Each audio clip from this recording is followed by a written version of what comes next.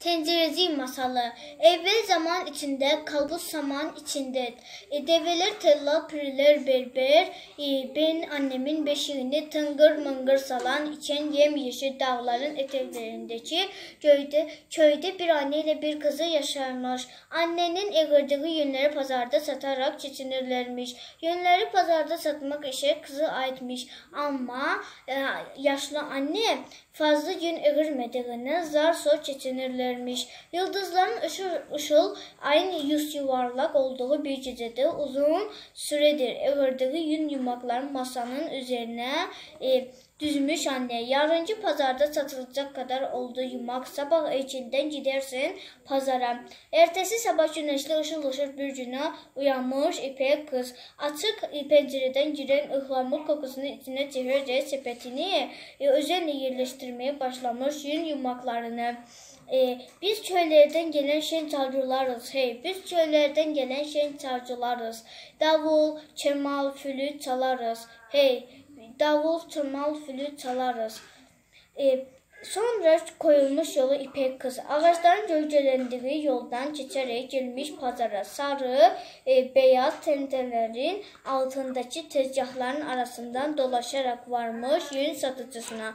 Öyle e, güzel eğrileşmiş ki yünler hemen satıvermiş ipek kız top top e, yumaklarını almış parasını başlamış pazarda dolaşmaya. Tam yemekli malzeme alıp evin yolunu tutacakken kırmızı bir tencere görmüş tezgahın e, yanında. E, tencerenin şekli öyle ilginçmiş ki gülümsüyormuş sanki e, tencerenin gülen yüzlü çek çekiliciliğine karşı koymayan ipek kız tüm parasıyla almış tencereyi. Annem bayılacak bu tencereye diye düşünerek mutlu mutlu e, evin yolunu varmış.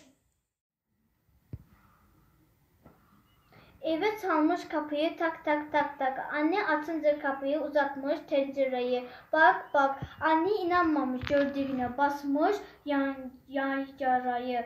Evde yiyeceği içmek yok. Senin elinde boş bir tencere içmek bile getirmeyi beceremiyorsun. Yakında damat diye bir de odun getirirsin herhalde. Diğeri fırlatmış tencereyi dışarı. O gece kızla annesi aslı tencereci şaşkın uyumuşlar. Tencereci kapının önünde pırıldayan ayıl ışıltısı uyuklarken bir ayak sesiyle ürkülmüş. Aydınlık, aydınlık Yasemin kokan bu gecede doğmaya karar veren bir bebeğin dünyaya merhaba demesine yardım etmektenmiş. Yıkamış, temizlemiş ve içinde güzel güzel dolmalar pişirmiş. Evi ocağın altını kapatır, kapatmaz derin bir uykuya dalmış. Evinin uyuduğunu gören tencereci ocaktan yere atlamış. Ka- e, kapıdan çıkmış. Tıkır tıkır bir oyuna bir bu yana sallanaraktan gelmiş. İpek kızın kapısını kapıya çalmış. Tak tak tak tak. İpek kızın uy- uyuklu gözlerle kim o tencereci içinde ne var dolmacık. İpek kız kapıyı e, atmış. Dolmaları tencerenin içinden almış ve tencereyi tekrar dışarı atmış. Sonra anne kız dolmaları afiyetle yemişler. Ertesi sabah padişahın karısı Sultan Hanım hamama giderken bakmış sokakta güzel bir tencere.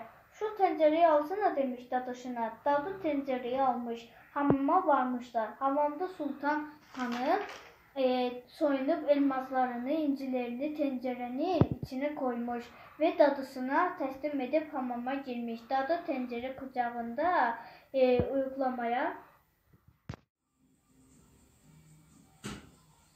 Uyuklamaya başlayınca tencereci hemen kolların arasına sıyrılıp tıkır tıkır doğru kızın evine gitmiş. Kapıyı tıklatmış. Kim o? Tencereci. İçinde ne var? Cici bici incici.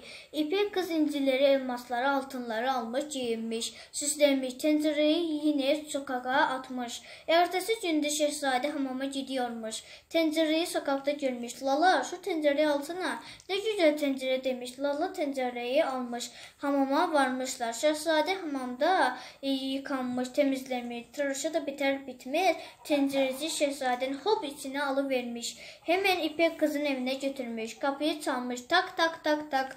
E, kim o? Tencereci. İçinde ne var? Ko- kozacık. İşte tam o sırada tencerenin kapağı aralanmış ve güneş gibi parlayan iki tane bal badem göz görünmüş. Bu güneş gibi parlayan bal badem gözleri ve gördü, göz, gördüğü güzelliği karşısında büyülenmiş ve şehzade tencerenin e, içinden çıkıp İpek kıza evlenme teklif etmiş. Bal badem gözlerine çıkıp e, aşık olduğu şehzadeyi geri çevirmemiş. Tabii ki İpek kızı evlenmişler ve çok mutlu yaşamışlar. Tencereci Nemi olmuş. Evlerinin en değerli varlığı olmuş. Yeri gelmiş içinde en lezzetli yemeğini pişirilip yenmiş. Yeri ye- yeri gelmiş bebeklerine en rahat beşik olmuş. Ama en önemlisi hep evin en güzel köşesinde onlara gülümseyerek aşıklarını hatırlatmış.